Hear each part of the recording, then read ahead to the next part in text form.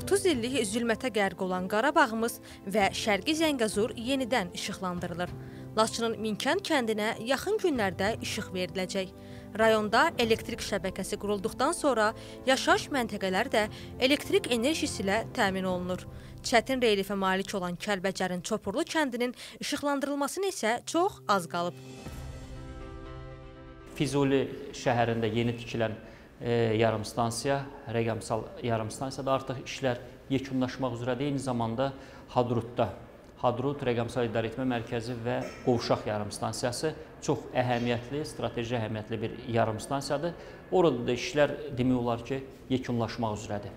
Bundan başqa Ağdam e, rayonunda 2 yeni 35 kilovoltluq yeni yarımstansiyada da e, yəni tikinti işləri davam etdirilir. Kəlbəcərdə tikilən 5 kiçik su elektrik stansiyasında da artıq işlər yekunlaşır. İşğaldan azad edilən digər ərazilər isə elektrik enerjisi ilə təmin etmək üçün işlər dayanmadan davam edir. Cəbrayıl enerji qovşağının tikintisi davam edir. Bu məqsədlə demək Ağcəbəddən və İmişlidən 330 kilovoltluq xəttlərin çəkilişi və 330 kilovoltluq Cəbrayıl yarım stansiyasının tikintisi həyata keçirilir və ən əsas bir məsələni də qeyd edim ki, məhz artıq işlər başlanılıb. Cəbrayıldan e, Qubadlıya, yəni Cəbrayıl 330-dan e, Qubadlı 110 yarım stansiyaya e, yeni iki dövləli e, xətt çəkilir. 110 kilovoltluq Laçında 2 yerdə 110 kilovoltluq yarım stansiya tikilir və xəttlər çəkilir.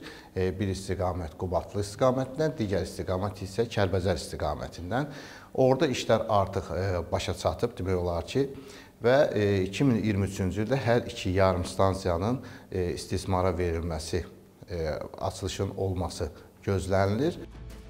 Görülən işlər onu deməyə əsas verir ki, artıq qısa zamanda Qarabağın hər bir bölgəsi aydınlanacaq.